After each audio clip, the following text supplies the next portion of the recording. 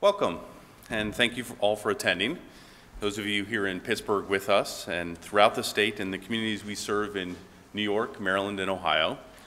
I'm Dr. Graham Snyder, Medical Director of Infection Prevention and Hospital Epidemiology for UPMC. Since our last briefing, public health authorities in all three states with UPMC facilities have announced that they've confirmed COVID-19 cases. There are no confirmed COVID-19 cases at any UPMC facility. Also since our last briefing, UPMC has sent specimens to public health authorities for testing, and we expect to continue to do so. We are not going to identify any patients being tested for COVID-19 or their location in order to protect their privacy. All proper infection prevention protocols are being followed for any such patients, as we do with all patients with infectious diseases. UPMC facilities and hospitals are safe, and we have preparedness plans in place to handle COVID-19 cases, as I laid out for you last week. Preparing for an emerging infectious disease is something UPMC has a lot of experience with. We have very good partnerships with public health authorities and our infectious diseases experts at the University of Pittsburgh. We have solid plans in place to care for patients with concerning infections. UPMC facilities and staff remain well equipped to properly care for patients with contagious diseases without exposing other patients, staff, or visitors. I would like to thank our nearly 90,000 employees for keeping themselves informed about COVID-19 and UPMC's preparedness through our intranet. Your calm, educated, and compassionate response as we prepare are very appreciated. We have three experts here today to discuss topics we know the public is particularly curious about. Joining me are Dr. Alan Wells, Chief Medical, Officer, uh, Medical Director of UPMC Clinical Laboratories, Dr. David Nace, Chief Medical Officer of UPMC Senior Communities, and Dr. John Williams, Chief of Division of Pediatric Infectious Diseases at UPMC Children's Hospital of Pittsburgh. Dr. Wells.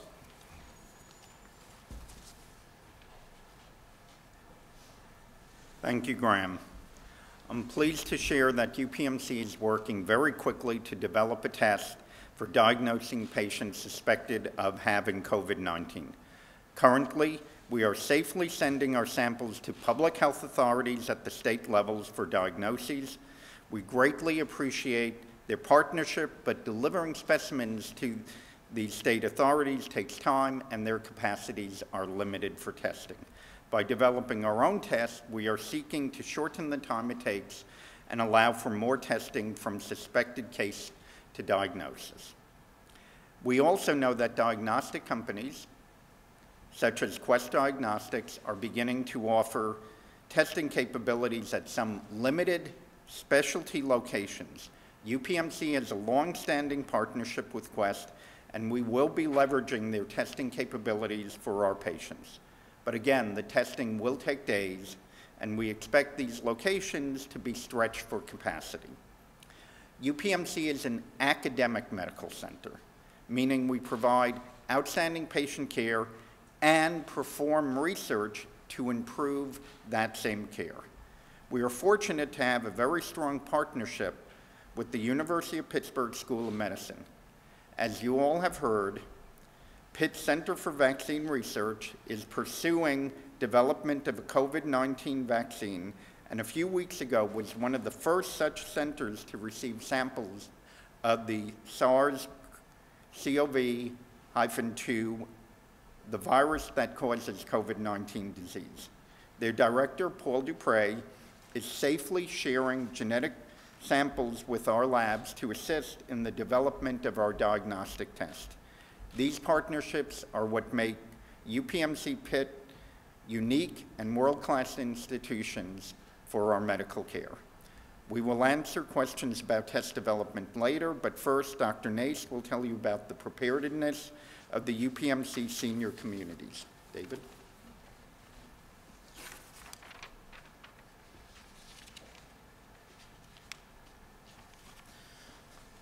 Thank you, Alan, and good morning.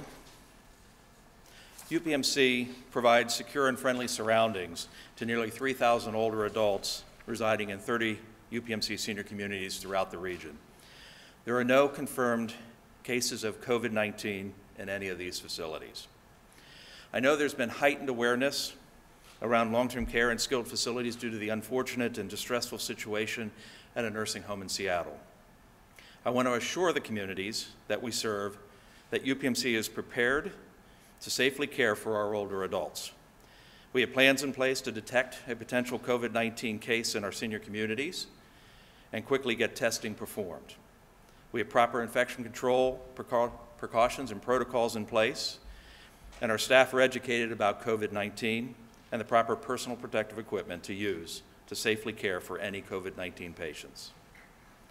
In addition to guiding COVID-19 preparedness for UPMC and our long-term care and skilled facilities, I am president-elect and soon to be president of AMDA, the Society for Post-Acute and Long-Term Care Medicine. I've helped to co-direct the development of AMDA's guidance on COVID-19 and post-acute and long-term care settings, which is being shared with these facilities nationwide and also with public health authorities and adopted by the CDC and their guidance to these facilities. I'd like to ask the public not to visit their loved ones uh, in person at a long-term care facility or a skilled nursing facility if they are ill or they have cold symptoms, even relatively minor ones. Uh, this will help us avoid accidentally spreading not only COVID-19, but many of the common respiratory viruses that are circulating in our communities and to our um, vulnerable elderly population. I'll be happy to answer your questions after we hear from Dr. John Williams on the impact of COVID-19 in children.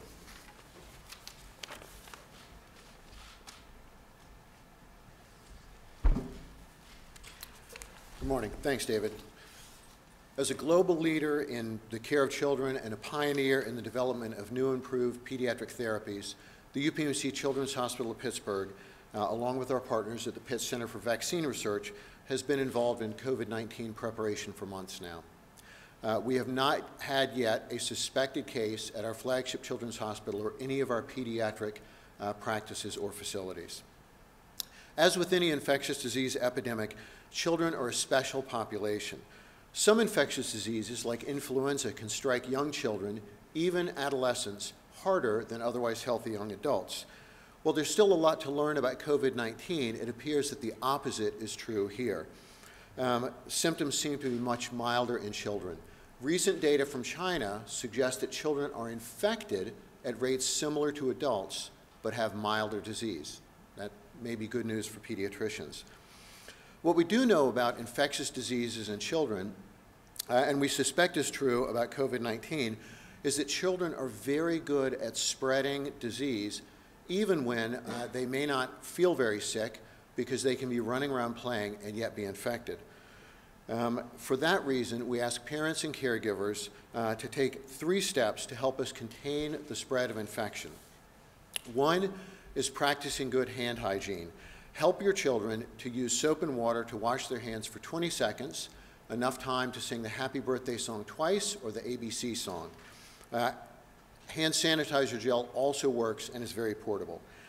And hands should be washed often before and after going to the bathroom, every time we cough or sneeze, uh, after touching common use surfaces like playground toys uh, and uh, communal playground equipment, um, and before eating. Number two, teach children to cover their mouth when they're sneezing or coughing. Many illnesses are transmitted by respiratory droplets, which travel a few feet through the air after a cough or a sneeze.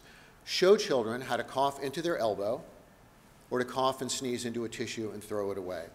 If they cough or sneeze into their hands, they can use hand gel or soap and water to then wash their hands. And third, keep kids home if they're sick. If a child has a fever, they should be kept home and not returned to school or daycare until they have 24 hours fever-free without using a fever-reducing medicine such as Tylenol. You can consult a healthcare provider while keeping your child at home by using the UPMC Anywhere Care app or the Children's PGH app. Uh, these apps have a Save My Spot uh, option for our Children's Express Care locations. This service helps families from having to wait in a crowded waiting room uh, and can cut down on exposure to other sick children. Doing these things is not only important for COVID-19, but for the other respiratory viruses such as influenza that are circulating in our community right now. We appreciate the support of our parents, teachers, and families in helping reduce the spread of disease. I'll take questions momentarily. Okay. Thank you, doctors. And thank you to you in the media outlets that serve our communities and for your responsible reporting on COVID-19 and UPMC's preparedness. We'll now take questions. We have multiple regional outlets tuning into our live stream, and they have submitted questions, so I'll intersperse those with the questions of the reporters in the room. I'll ask our experts to please pause before answering so I can summarize the question into the microphone for those watching remotely. Questions? Yes. What are you doing differently to detect and test when it comes to seniors and children? With regards to um, seniors, um, what we've done over uh, a number of years, over the last uh, couple of decades, is to enhance our infection control um, programs, including our surveillance and outbreak detection and management programs. Uh, What we've uh, uh, accomplished over this uh, two-decade period has been a very strong and robust program that has been used actually um, to teach and inform other facilities across the country for early outbreak detection. And uh, we have uh, incorporated that actually in training programs that we've uh, led for um, facilities across this country. So I think we're relatively well prepared um, for um, detecting an outbreak should it occur uh, in an older adult uh, population. So. As, a- as an organization, we are focused on the epidemiology of this disease. Um, in Pennsylvania, for the few cases we've had, there and, and throughout the United States generally, cases are still predominantly identified by travel to affected areas, for example, countries where transmission is happening, and additionally in contact with people who have been diagnosed with COVID 19. And so for all of our patients, we're still focused on that epidemiology. Additionally, we're considering COVID 19 in patients who have fever and respiratory illness without an alternative cause. So we're asking clinicians whether they be uh, taking care of kids, um, elderly, or um, the general population, that they pay attention to the possibility of COVID 19 in their patient and discuss it. Okay, so there's nothing specific that you're doing differently? I think the epidemiology is the same. So whether you're a child traveler or an elderly tra- traveler or an adult traveler, um, the epidemiology is still the same. All And I would just say the same kind of testing is used for children and adults. All right. Sarah. Question, so you said there were no confirmed positive cases. The State Department of Health is making a distinction between presumed positive and confirmed positive. So are there any presumed positive cases within the UPMC system? The question is with the distinction that the State Department of Health is making between positive cases and presumed positive cases. Are there any presumed positive cases at UPMC? There are no presumed or confirmed positive cases at UPMC. Yes, Sean. Can you tell us how many um, tests you've administered so far, how many people you've chosen for testing? Can you tell, um, tell us how many tests have been performed so far? We're going to follow the lead of CDC and PADOH by not disclosing the number of tests that we've performed. I'm now going to take a question from the Williamsport Sun Gazette. Are there current updates and procedures regarding the virus and how UPMC hospitals in, say, Lycoming County or the state are dealing with patients who have coronavirus? So we're preparing all of our organization, whether it's a small facility in a rural area or a large academic medical center in, uh, in Pittsburgh, to be prepared to identify and uh, take appropriate care of a patient with COVID-19. And there are no differences whether it's a small facility, whether it's an outpatient facility or an inpatient facility, same level of preparation to identify and take the appropriate precautions um, when a patient could have COVID-19. Okay. Um, Yes. Yes, uh, what's, uh, what's the timeline for testing, uh, locally, so you understand this, this state? All right. Talk a little bit about that, what's, uh, what's the process and what the question is, what is the timeline locally for testing, both with the state and with UPMC's development of testing? So we are working to quickly institute a test first for our most symptomatic patients to get to the point of presumed uh, positive or negative, uh, requiring confirmation in very short order. We'll be rolling out additional tests after that for other targeted populations. But what's the time? That's not, like, are we talking two weeks, a month? But what's the time? So we're talking within that period. Yes. There are very, there are many unknowns when developing a test, and that is what is, has come up with the CDC, with other centers, so there is no definitive timeline. All right, next question. All right, yes. You said you're preparing all sizes of facilities. If someone walks into an ER presenting these symptoms, how do you protect everyone else from becoming infected in that emergency room? All so the, the question is, if somebody walks into an ER with symptoms consistent with COVID-19, how do you protect everyone else? So for all of our frontline providers, whether it's emergency department, urgent care, outpatient clinic office, we've taught our providers to rec- first recognize the potential. Part of that comes from our travel screen, travel to affected areas, and part of it comes from recognizing potential symptoms that could be COVID-19. Um, the first steps are identify, mask the patient, get the patient to a safe area to continue to provide care, and then we have 24 7 coverage by an infection preventionist to assist that facility with walking through the process of evaluating the patient and, if appropriate, testing and, further care. All right, I'm going to take a question from WJAC TV in Johnstown. Um, Are there symptoms dependent on a particular age bracket? How do doctors go about testing for and treating in children? And what challenges do they face when treating kids?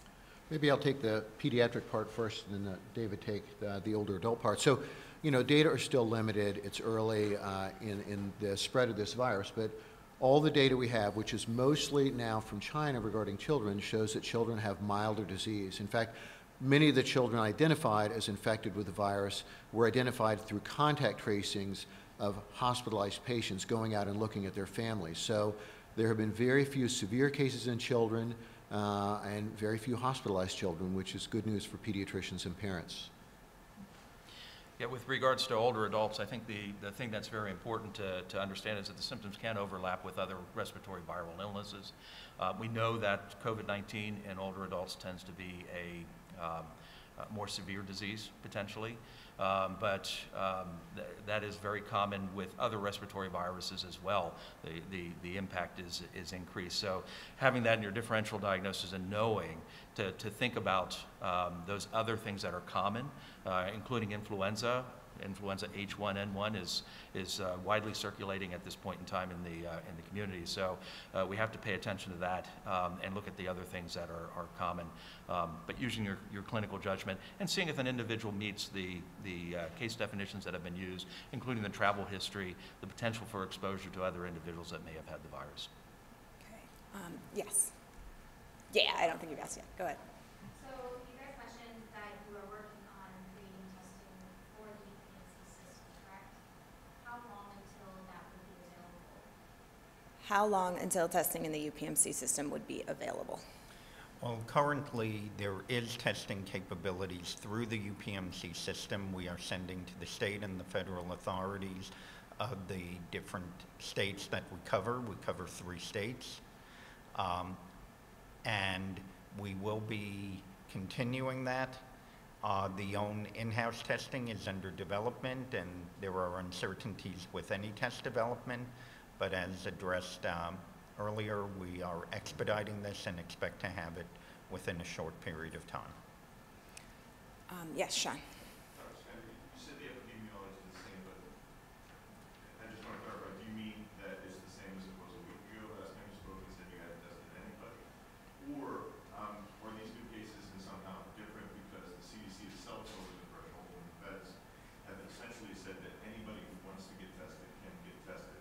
All right, so the question is the epidemiology of the cases. Um, Are you lowering the threshold now that the CDC has expanded uh, its recommended testing group? The CDC guidance doesn't exactly say anybody who wants to get tested should be tested. The CDC and our public health colleagues are still asking us to focus on what's likely um, to be happening for this patient. So, for example, if I had a patient, as Dr. Nace mentioned, who walks in before COVID 19 ever existed and they have fever and they have respiratory symptoms, the epidemiology there is it's very likely to be influenza. Um, and there's a multitude of other respiratory viruses. Similarly, in this situation, what we're being asked to do from an epidemiologic standpoint, if I have a patient who comes in with fever and respiratory symptoms, what's the likelihood that it's one of the multitude of respiratory viruses, including influenza, that's circulating, and what makes it more likely to be COVID 19 disease? And right now, as we closely observe in the epidemiology both around the world and in the United States and in Pennsylvania, you're most likely in the United States to still to be getting COVID-19 if you've traveled somewhere where you've been exposed to it, or you've come in contact with a person who has COVID-19. So far, we're seeing very few, if any, cases in which somebody did not have one of those exposures. So when we target um, uh, testing, so we want to, um, when we want to consider a patient for COVID-19 testing, that's what's in our mind. We want to test those patients who are most likely to have COVID-19, rather than test everybody. Because if somebody doesn't have one of those exposures for right now in the United States and in our region, it's still unlikely that you would have COVID-19 if you haven't had one of those exposures. But you still have patients who have not traveled somewhere, not been in touch with somebody who had COVID-19, that you tested because you've done the influenza test, it's come back uh, negative, they still have the symptoms, are there folks in that category? So from, from state and CDC guidance, that's still an important category to be thinking about because at some point in the U.S. epidemic, um, it will, the, the epidemiology will switch from travel to an affected country or contact with COVID-19 and community transmission will start. So the idea there is to pay attention to patients who have no other alternative uh, identified cause and consider testing them because it could be one of the first patients that we have that is, has, does not have that epidemiology. That's what, that's Alright, what alright. community transmission is, yeah. All right. Tested, who didn't fit those hmm. categories? We're, we're not disclosing mm-hmm. the testing that we've done. Yes, Paul? Um, Dr. Snyder, uh, what would happen, what's the next step for UPMC after, uh, somebody with uh, suspected COVID-19 or confirmed COVID-19 comes into a facility, whether it's a hospital or private? What changes at that hospital? Um, You know, what would you be doing next to kind of maybe stop that spread? And also, is there other kinds of, uh, like, you know, things that would not be going on at that particular hospital? Or can you sort of, are you segmenting? So the, Mhm. so the question is, if you get a suspected case of COVID-19, if it walks into the hospital, or, or presumed positive case, what changes within that hospital? So the key interventions that you'd put in place for COVID-19 are the infection prevention precautions to prevent transmission. And so part of that is personal protective equipment that's specific to COVID-19, but it's the same personal protective equipment we use to prevent transmission of other infections. And so this is actually something that we do every day in infection prevention, whether somebody could have a diagnosis of tuberculosis, measles, methicillin-resistant Staph aureus. So we follow the CDC guidelines on how to prevent transmission based on the presumed mechanism of transmission for uh, SARS-CoV-2 that causes COVID-19. So any facility, whether it's a hospital, urgent care, ED, uh, outpatient care facility, they're ready to apply those precautions to prevent transmission in that, in that location. All right, I'm going to take another question. This one, again, from the Williamsport Sun-Gazette. Uh, What treatment is being used in UPMC hospitals to take care of patients who have co- coronavirus? Or I suppose if they were to be diagnosed with coronavirus? So the primary treatment for patients diagnosed with COVID-19 is supportive care. We have experts in our system who have reviewed the data for alternative treatments, none of which have been approved for care but have been used in some settings, and, and are, are able to provide our, our providers with guidance on what um, treatments have the best level of evidence and have less evidence, and make sure that those treatments are available to, to clinicians. One example, perhaps at the top of the list, is remdesivir. Um, it's right now a drug that's not been approved for use, but is under investigation, including clinical trials, and holds the most promise. And we have already opened up communications to make sure that if we had a patient with COVID 19 and the clinicians thought appropriate to treat with this agent, that, that we would make that agent available. Okay, Um, yes, Sarah? Um, can you talk a little, if there was somebody at a senior community who had COVID-19, would that person remain in their residence or would they be moved outside the community? Okay, so the question is, if there is somebody in one of the UPMC senior communities with COVID-19, would they remain in the residence? Yeah, that's an, an excellent question, and uh, it depends on uh, which of the senior communities. So if it's one of our nursing facilities, um, we would hopefully um, uh, uh, try to maintain that person in place if we could. So it's dependent upon, first and foremost, patient-centered care. So what's important about this is some individuals uh, have decided that they don't want to go back to the hospital. They want to stay where they are uh, because of their health uh, status and their overall prognosis. Um, we would take that into account in the decision making. We would also look at the medical needs. So if the person needs higher level hospital based care, ventilator care, something like that, uh, that would be an indication for transfer, in which case we would coordinate that with our EMS providers, uh, with the public health service, obviously, and with the hospital um, that's receiving the individual as well. So, um, Quick follow-up, so if someone's in your room with COVID-19, do you feel confident that you can keep their neighbors and that residence safe from COVID-19? Like, Right. keep it in the room? So the, the follow-up is, if somebody is in their room at a senior community with COVID-19, do you feel safe that you can keep their neighbors from contracting it?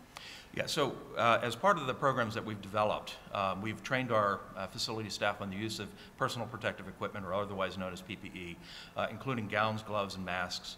Um, we have uh, done that on an annual basis. We do that on a frequent basis, pretty much monthly. Uh, and then anytime there is anything circulating, including the current flu, norovirus season, um, and we've um, reemphasized that uh, throughout the, the, the entire process. So it's an ongoing uh, formal training and informal point of, you know, hey, I just observed you going in and out of this room, this is what's happening.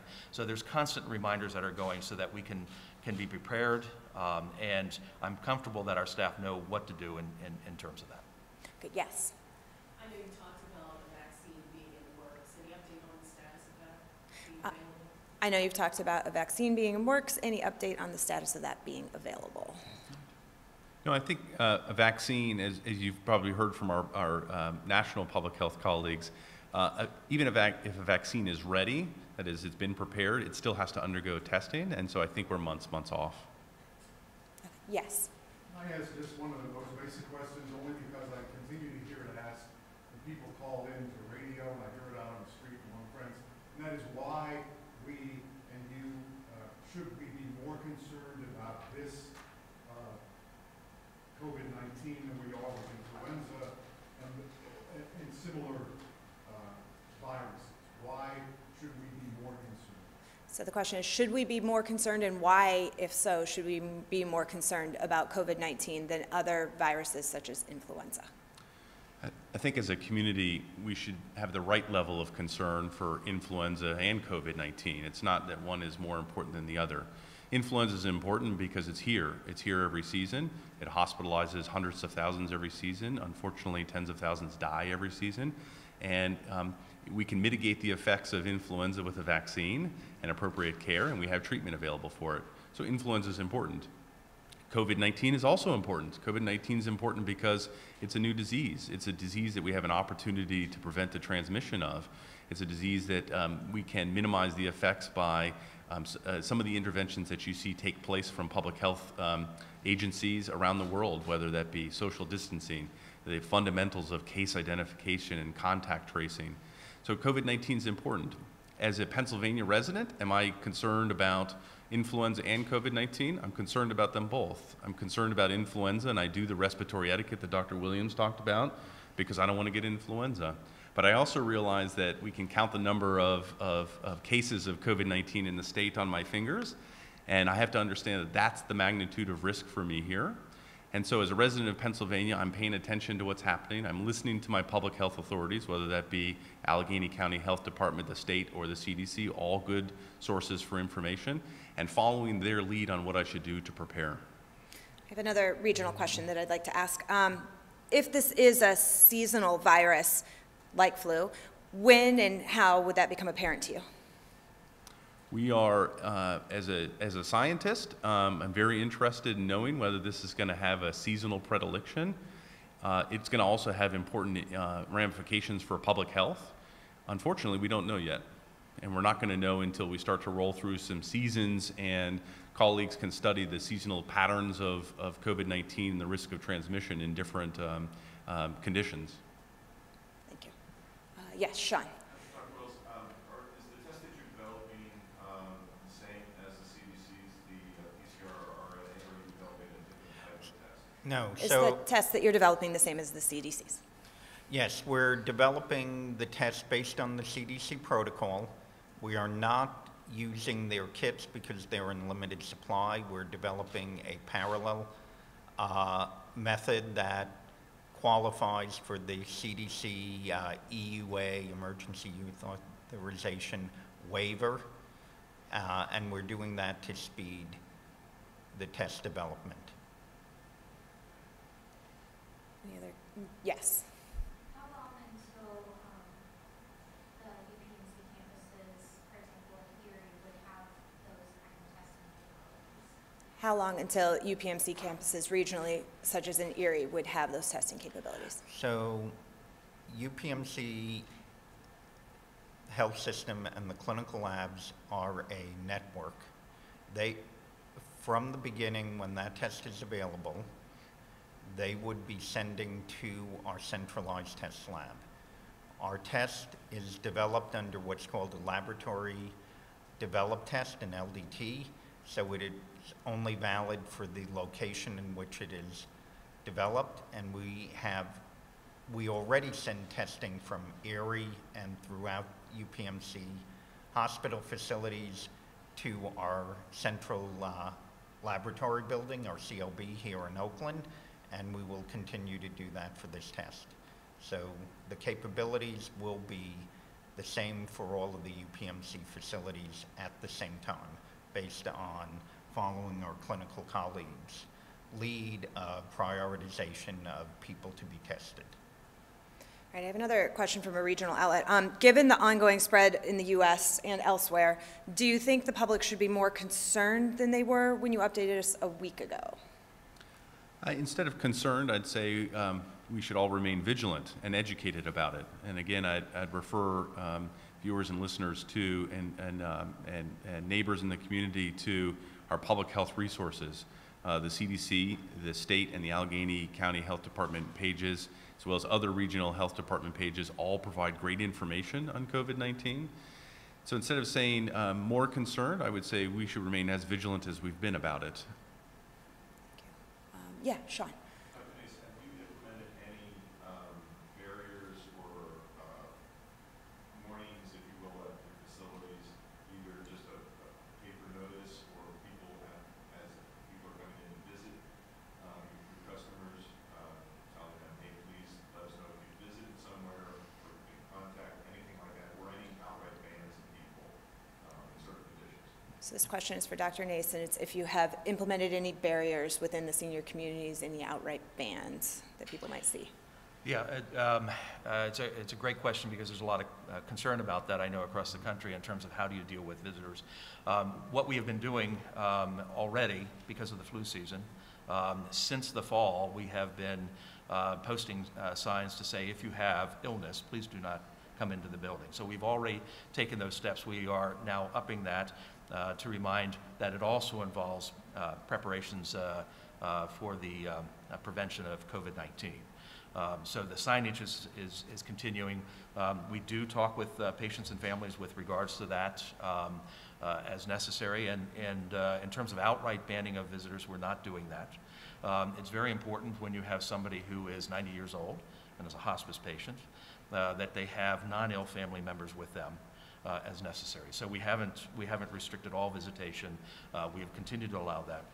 We are in the process of uh, putting out communications with our, with our patients, with our families, uh, and, and other visitors to uh, let them know the steps that we're taking, uh, and also reminding them of the fact that if they are ill, please do not come in, so. All right, we have five minutes remaining. Any other questions in the room?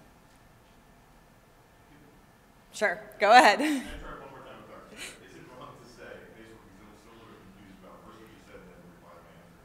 Um, UPMC has tested people, um, who either have visited a region or been suspected of being in contact with somebody.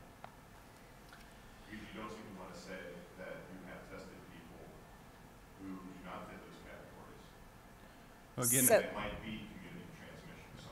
Uh, So I'm going to attempt to summarize this, um, but you heard the question. So is it wrong to say that UPMC has tested people or for any reason other than travel or exposure?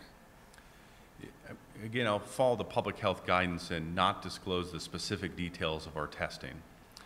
Um, But I will also say that um, we understand that uh, searching for a a COVID-19 positive patient, somebody who's ill with COVID-19, might entail in travel to affected areas, contact with COVID-19, or somebody who is ill without an alternative cause. So I pair looking for those um, conditions with what's the epidemiology that's happening. And this, I, you have the same information that I do about um, what's happening in Pennsylvania, what's happening around the country. Right, that's why I'm confused, because uh, the state has specifically identified each individual patient who's tested positive and said what their exposure was, whether it was from travel, which in your case I believe it has. So I'm just trying to get you to, to tell us, are these all travel? Like they've said, you tested people who were just travel and exposure, or is there one suspected community transmission? So our public health authorities are the ones who are doing those tests, so that they would be able to answer those questions if that's information they want to disclose. Right now, they are the ones running the tests and have to date. Uh, Yes, Paul? Can you tell about the, you talked about some challenges to testing, to, to developing the test. Can you explain a little bit about what those challenges are? All right. This So- question is directed at Dr. Wells. Can you expand upon the challenges to developing a test? So I should say at first, the um, virology team of doctors Fan, Mitchell, and Rinaldo have developed tests and have I in the past for new infectious diseases and emerging infectious diseases or just tests that didn't exist for existing infectious diseases. So this is nothing new. Obviously, the challenges relate around sensitivity, um, off-target effects of other diseases that mimic, so you're specific, and of whether or not you can detect patients who are both symptomatic and either pre or post-symptomatic. And the challenges specifically for COVID-19 uh, or SARS-CoV-2 for that is, fortunately, we don't have positive patients to run around with the disease to be testing. So for flu, if we're developing a new flu test, and we developed the flu test before they were commercially available, we had lots of flu patients. We developed a better test than the culture test.